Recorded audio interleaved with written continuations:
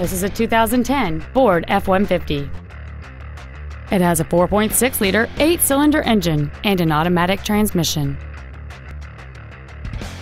All of the following features are included. A low tire pressure indicator, a double wishbone independent front suspension, traction control and stability control systems, 12 volt power outlets, side curtain airbags, air conditioning, full power accessories, an anti-lock braking system, 17 inch wheels, and this vehicle has fewer than 34,000 miles on the odometer. Call or visit us right now and arrange your test drive today.